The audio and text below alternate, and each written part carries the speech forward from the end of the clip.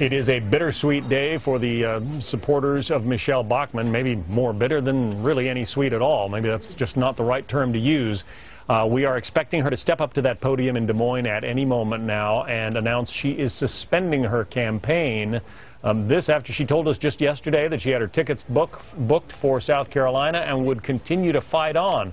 So let's talk a little bit more about these results from the Iowa caucuses. David Drucker joins us. He's a staff writer for roll call. You know, a lot of people wondered why not soldier on. If you're Michele Bachmann, uh, you've got a couple of debates coming up this weekend, the opportunity for some free television exposure.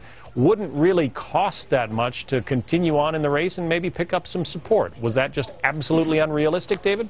I think it was. I think coming out of the Iowa caucuses where she was supposed to have her best chance at propelling herself into the race. I mean, don't forget, she won the straw poll back in August it was clear that she just wasn't well received by the voters. They just weren't interested.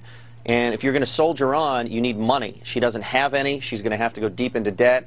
And heading to New Hampshire, where she was clearly not going to go because she wasn't going to pick up any support, um, going to South Carolina wasn't going to do her any good because they're greatly influenced by success and performance in Iowa and New Hampshire. South Carolinians want to elect somebody to the nomination that can act actually win the general election. Michele Bachmann hasn't proven that she can do any of that, and I think she, her and her team probably understand the position she's in, and that's why she's poised to drop out. Our Steve Brown is telling us now that it's expected to be about 10 minutes before she takes to that podium, uh, so she's running about 15 minutes behind schedule. She was a favorite of the Tea Party movement, David. Does this suggest that the Tea Party influence is on the decline? No, I think there were a lot of candidates in the race that were able to grab the Tea Party mantle. You know, just after Michele Bachmann won that straw poll, Governor Perry got into the race.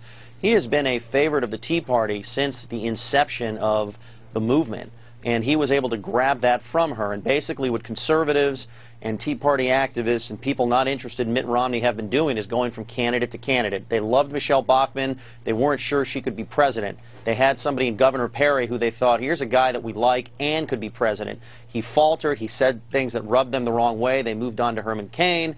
He faltered. They moved on to Newt Gingrich. He faltered. They've now moved on to Rick Santorum. Yeah. And I think we've just seen this as a process you can't lose the early states and stay in simply because there are more primaries to come. You need to show support, you need to raise money, you need to show you can win, and that's why these early contests are always very crucial. So let's talk about the winners here, and, and you've got to count Rick Santorum among them, uh, whether he came in eight votes behind Mitt Romney or not. He effectively tied for first place, and that's a pretty stunning achievement, isn't it? He did a great job, and nobody gave him any chance in heck of uh, doing anything, myself included. Now, what we're going to have to see from Rick Santorum going forward is can he take a punch? His surge, um, he should get all the credit for the hard, dogged campaigning he did. He clearly connected with Iowa voters, but he was able to do so without anybody paying attention to him, without his competitors trying to really tear him down. Rick, Rick, Perry tried to do a little of that over the last few days of the campaign, but nobody really went after him. The question is, can he take a punch? A lot of the other candidates haven't been able to.